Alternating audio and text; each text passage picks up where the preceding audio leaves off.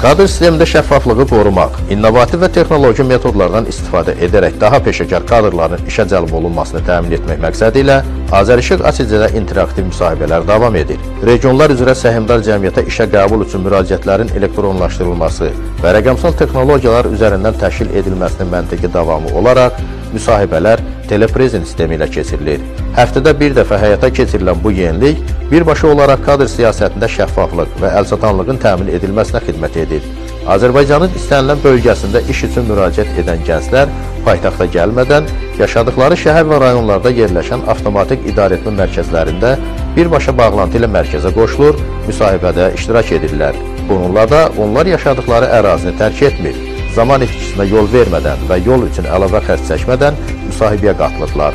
Qeyd edək ki, ötən ildən başlayaraq Azərişıq ASC-də işlə təmin olunmaq üçün müraciət elektron qaydada aparılır. İşə qəbul komissiyası tərəfindən mütəmadi təşkil edilən müsahibələrdə və tədris mərkəzi kurslarında müvəffəqiyyət qazanan namizədlər ASC-nin kadr ehtiyat bankına daxil edilir, elektron növbə sistemi ilə işlə təmin edilirlər.